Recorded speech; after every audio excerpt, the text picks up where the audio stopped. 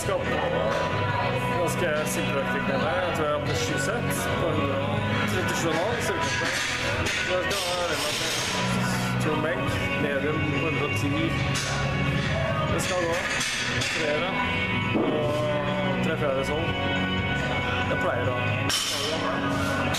Takk, Mark. Kos og opplevelser. Og så gikk jeg til Oslo. Jeg rakk ikke trenevakta mi i dag.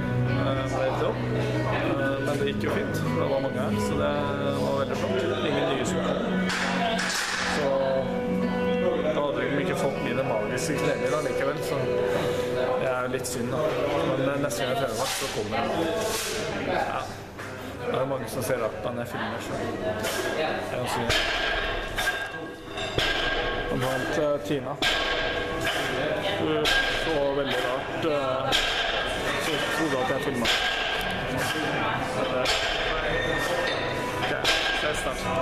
Yeah.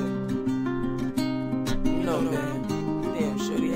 Everything. Back to the front, back to the front. You know, material. I met in school. She was on the way to her class. I tried to stop to talk to her, but she was late with no pass. So she stopped and she asked, Do I got a girl? Twirled the eyes and walked away with a laugh. A few days passed, you know me, rolling dice with Bobby, four, five, six and then She walked up and said I never answered to her question. I'm like, nah, but you could be the answer to the question. She started laughing, then I gave her my name. She like dice, I like your swag, I hope you ain't running game. I'm like, nah, I ain't these other lanes. I try to get to your head, say anything just to get to your bed. So I just pick up instead. Plus she ain't like them other bird brains that be looking for bread. A few months passed, I started putting money in the pocket. Don't get it confused, tricking if you got it. And trust me, I got it. My money so strong, so long, huh, I couldn't even flip it in my wallet. Wait, I'm slipping off the topic. Shorty my girl, she my world, so if she asks for anything, I'ma cop it. Girl, you one in a million like Aaliyah. And all these other chicks here jealous when they see us. Damn, your beautiful smile. Just give me a while, I'll show you how to make a beautiful child. Girl, you one in a million like Aaliyah. And all these other chicks get jealous when they I'll show you how to make a beautiful child. Now, two years go by, you know me. Icy white tee, thinking about making her my wifey. Uh, her name was Patrice, but Shorty was bossy. Kinda like her name was Khalees. Zodiac sign of Scorpio, you know she a freak.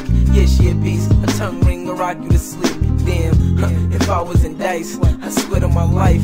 I say she was something to wife. Not to mention she hold a pistol if you had to throw the pistol before shooting up somebody cause they said some vouchers to you. I mean, Shorty the one. I ain't worried about kids, but I can see it with my daughter and son. Take them out when it's hot. Ja, da har vi gjort en trening til, da. Um, det var en bra trening. Komfortabel bøy. Ikke sprut igjen, men uh, veldig mye trøkk og energi i det i forhold til at jeg kan gjøre ekstremt mange sett av det. Deilig. Uh, ikke sliten nå. Det er også veldig godt. Uh, benken var veldig bra. Treere på 110. Mediumgrep var veldig bra. Uh, Jeg merka stor forskjell på avløft og ikke avløft. Det var så himmel og hav. Eh, Så det var litt stor forskjell, men eh, det kommer seg bra i benk. Får For benk er brukbar teknisk også, spesielt med avløft.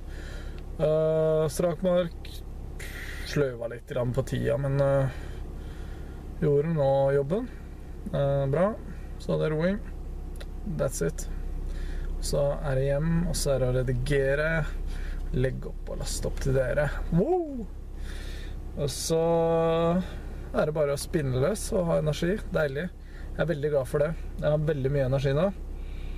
Eh, kan liksom farte rundt. Eh, ikke stressa, ikke noen ting. Kjempeherlig. Deilig følelse.